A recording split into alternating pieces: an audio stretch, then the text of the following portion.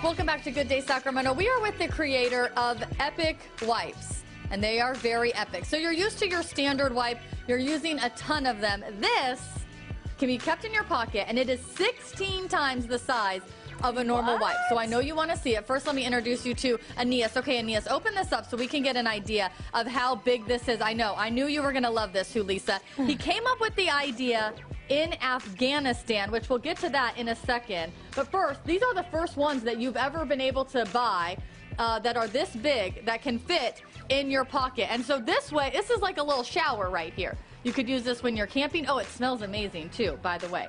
So That is this is what they huge. look like once you fold them out. You were in Afghanistan, and what happened? Why'd you decide you needed something like this? Well, uh, wet wipe showers is uh, kind of a norm uh, when you're downrange, and what ends up happening is you end up going through 10 or 12 or 16 of these things, and you never really end up feeling clean at the end. You just sort of feel like you're pushing the dirt around. And so I just figured, uh, you know, when I got back, I was going to make my own that was that could actually do the job right. And so here we are. You are a physician in the Army, still active duty. And I'm telling you, the military community is 100% going to get behind these because of how big they are. But you've been finding other needs for these too that people have been telling you they've been using them for, not just for what you initially int- intended it for, for people to do their little wet wipe shower. What are some of the other things that people could use these for? Uh, well, you know, at first, like I was sending them out to bike bloggers and whatnot because I figured you know, people that bike to work would have to use them every day.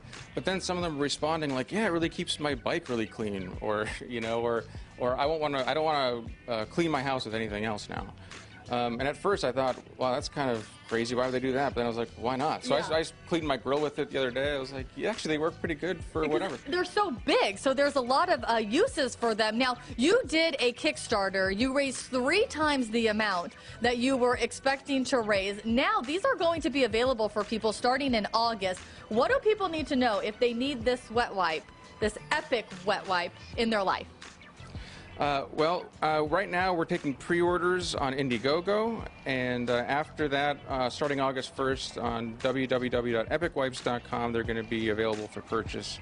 Uh, we've also teamed up with thegrommet.com, who will also start uh, carrying them August 1st. Are you surprised by how excited people are by this? Yeah, kind of. I mean, it just sort of took off lately, you know, and um, I just, to be honest, I really wasn't expecting. I mean, I was hoping, you know, but I, I wasn't expecting for sure. But uh, yeah, there's just we've gotten people that have been interested from all over the world. I've gotten emails from Hong Kong, Thailand, Turkey. It's just crazy. It's great. I love it. Aeneas, thank you so much for your service, too. A major uh, in the Army uh, and a physician, and now probably going to be a billionaire with these uh, epic wipes. That is fantastic, Cambi. Thanks so much. Great story behind that, too. 757 here. Don't put that for sale in your yard yet.